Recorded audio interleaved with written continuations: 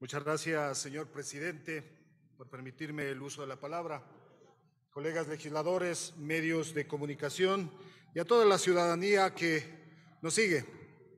En realidad, señor presidente, cuando hablamos de seguridad, no estamos redundando.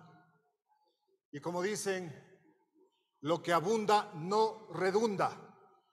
¿Por qué? Porque todos los días vemos con horror lo que está sucediendo en nuestro país. Literalmente están desangrándole a todos los ecuatorianos.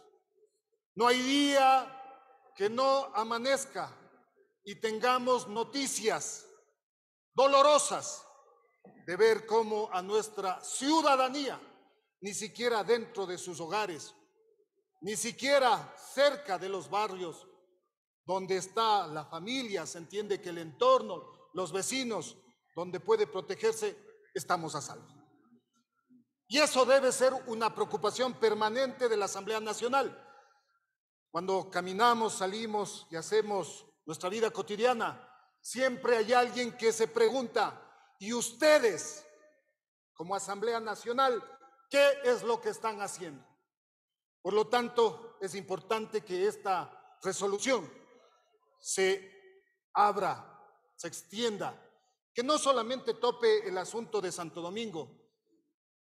Quisiéramos, ya quisiéramos que solamente sea un lugar en el país que tiene el problema de la inseguridad. Lastimosamente es a nivel nacional.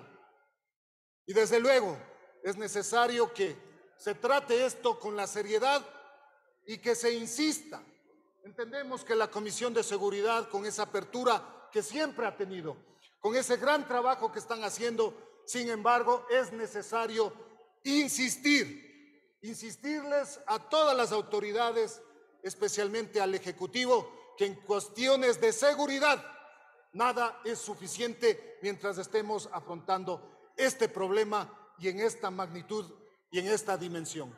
Así es que como izquierda democrática, nosotros solicitamos que por favor se abra y se dé la posibilidad de que se trate a nivel nacional este problema y por supuesto a través de la Comisión de Seguridad.